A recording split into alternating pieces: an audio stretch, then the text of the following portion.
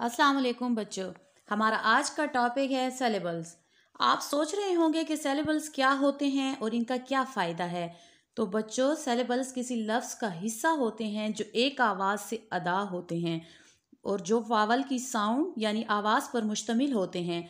आमतौर पर सेलेबल्स किसी वर्ड की बिल्डिंग को उन ब्लॉक्स में तोड़ने को कहते हैं, जिसमें वावल की आवाज़ हो। इसका फ़ायदा ये होता है कि इसकी मदद से मुख्तसर के अलावा मुश्किल और लंबी अल्फाज की स्पेलिंग आसानी से अदा और याद की जा सकती है। ये मुश्किल वर्ड्स की अदायगी में मदद देते हैं।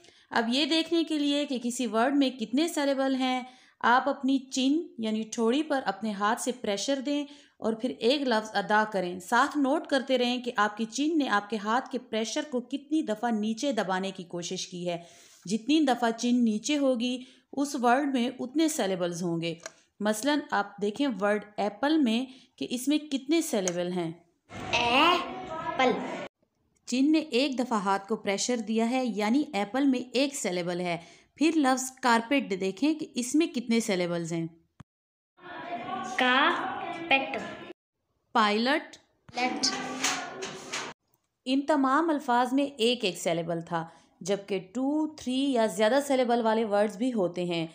इसके अलावा क्लैप के ज़रिए भी वर्ड्स में सेलेबल्स ढूंढे जा सकते हैं। मसलन ब ना ना।